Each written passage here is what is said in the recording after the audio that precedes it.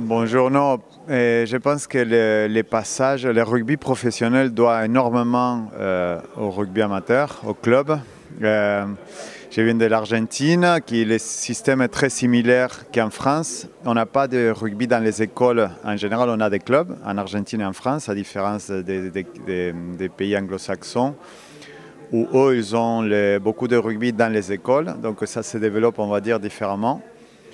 Il n'y a pas de meilleur ou de pire, mais euh, je vois en France que ce qui rend les Français différents, ce qui rend les Argentins différents, je connais bien les deux cultures, c'est qu'on est très bien formé en termes de valeurs euh, dans le rugby, je parle que de mon sport. Euh, au-delà de la performance, des data, aujourd'hui on parlait des technologies, ce n'est pas le plus important dans notre sport. Donc aujourd'hui, le rugby pro bénéficie des joueurs, des hommes qui viennent former avec des valeurs très importantes.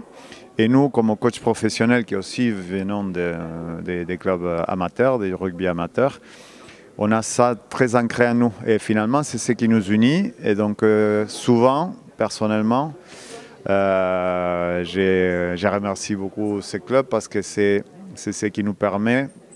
Aujourd'hui, j'ai 12 nationalités différentes dans l'équipe, mais quand on parle de ce qu'on nous a dit quand on était jeune, comme euh, joueur amateur, c'est ce qui nous unit et ce qui nous rend un peu différents. Et donc voilà, je pense qu'en France, c'est super bien géré.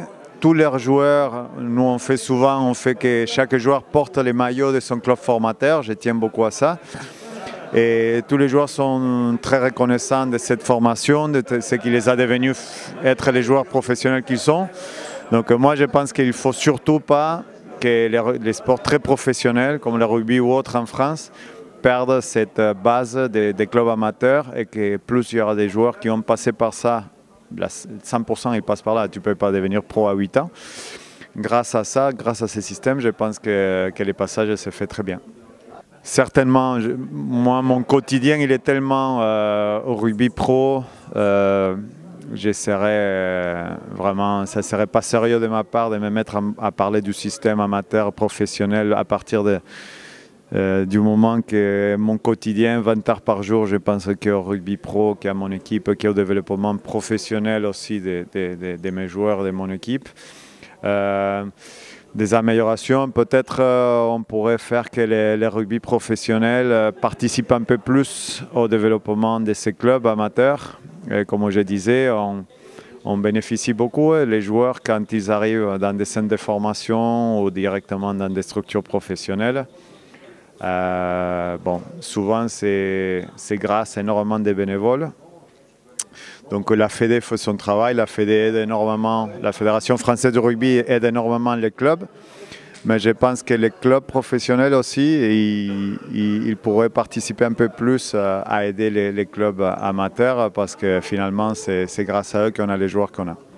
Oh là là, la liste elle est très longue. Ben, aujourd'hui, les, championnats, euh, les top 14 en France, c'est devenu d'un niveau euh, énorme. Euh, aujourd'hui, on a, avant, on avait 3-4 équipes qui pouvaient postuler pour être champion de France. un peu plus récemment, 5 ou 6, 6 ou 7. Maintenant, il y a au moins 10 équipes qui concrètement, aujourd'hui, au jour d'aujourd'hui, peuvent se qualifier dans les 6. C'est impossible même pour les plus experts de deviner qui seront les six équipes des 10-11 qui ont les moyens de, tenir les niveaux pour se qualifier.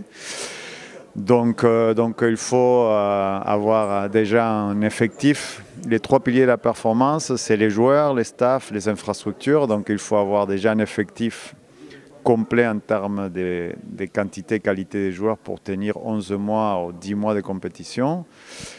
Euh, un staff très compétent, complet, pour, sans avoir trop de monde, mais que les joueurs soient pris en compte, l'équipe ait un suivi euh, physiothérapique euh, en termes de physio, des soins, des préparations physiques, des coachs spécifiques pour les développer.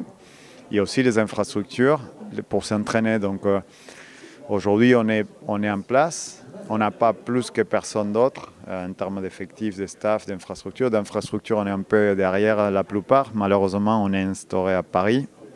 Donc on a un terrain d'entraînement en herbe qu'on se partage avec les moins de 21, moins de 18, les, féminines. le terrain principal aujourd'hui, pendant que je vous parle, je vois PSG parce que c'est les PSG féminines qui vont l'utiliser, donc on ne s'y entraîne pas. Donc voilà, il faut, il faut être au top dans, dans, tous ces piliers de la performance. On essaye à tous les clubs, mais d'année en année, les, les niveaux montent. Donc il faut ça et, avant tout créer un groupe, euh, un certain état d'esprit qui reste très important dans notre sport. Donc voilà, si on a ces piliers, euh, un, bel état d'esprit dans les groupes, un vrai groupe, euh, et que dans ces piliers de la performance, on est en place, on pourra, on pourra postuler, mais, ça va être un énorme challenge cette année.